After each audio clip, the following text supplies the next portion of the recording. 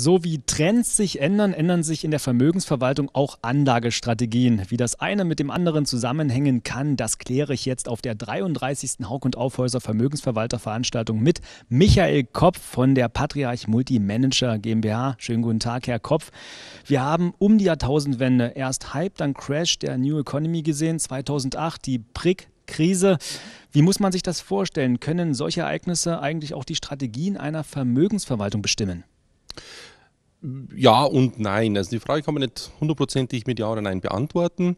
Natürlich äh, sind gute Vermögensverwaltungen immer auch an solchen Trends interessiert, werden sie aber wie manche andere Fonds nicht hauptsächlich in den Fokus stellen, sondern diese Trends gerne als Beimischung nehmen, aber die Gesamtausrichtung dann durchaus noch in breitere Streuung ansetzen. Wie sieht denn bei der Patriarch Ihre Anlagestrategie bzw. die Kerninvestments aus? Also wir sind ein Haus, das bei unseren vier Dachfonds immer auch auf ähm, Vermögensverwalterfonds setzt in dem Bereich. Wir haben vier Strategien, die sich unterscheiden, je nach Gusto des Kunden, je nach Risikoneigung des Kunden, verstärkt in Renten zu gehen, ausgewogenes Verhältnis oder stark in Aktien zu gehen. Wir haben auch ergänzend dazu ein System mit Trendfolge dazu, was basiert auf entsprechenden vermögensverwaltenden Konzepten.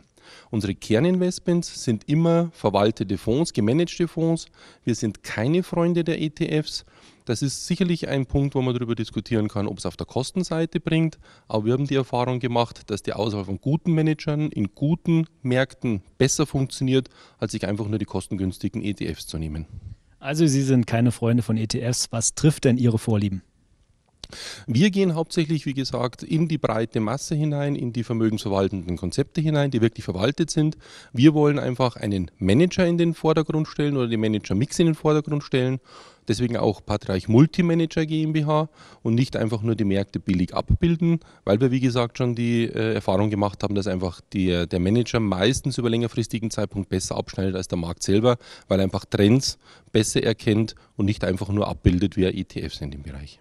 Ich kann Sie natürlich nicht aus dem Gespräch entlassen, ohne zu fragen, wie die aktuelle Marktsituation von Ihnen einzuschätzen ist. Also wir sind momentan bei unseren Strategien, wenn man mal die Aktienseite betrachtet, äh, in drei Kernmärkten stark investiert. Das ist auf der einen Seite Europa natürlich. Hier sind wir in den Größenmärkten Märkten wie zum Beispiel Deutschland investiert. Wir sind aber auch mittlerweile eher drauf, äh, diese Positionen zu überdenken. In der letzten Allokation sind wir Richtung USA und Fernost weiter ausgewandert, wo wir die beiden anderen Schwerpunkte haben.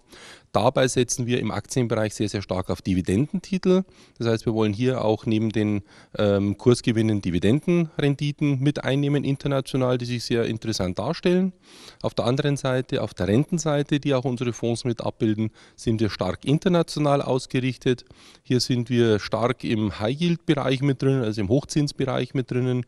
Hier sind wir auch durchaus spürbar im fernöstlichen Markt mit dabei, weil hier einfach die Bewertungen zwischen den ähm, Ratings und aber auch von der Zinsseite her sehr, sehr gut sind und haben in Deutschland den Kernmarkt gefunden, wo wir sagen, wir wollen hier einfach einen Safe Haven haben, da aber eher im kurzfristigen Bereich.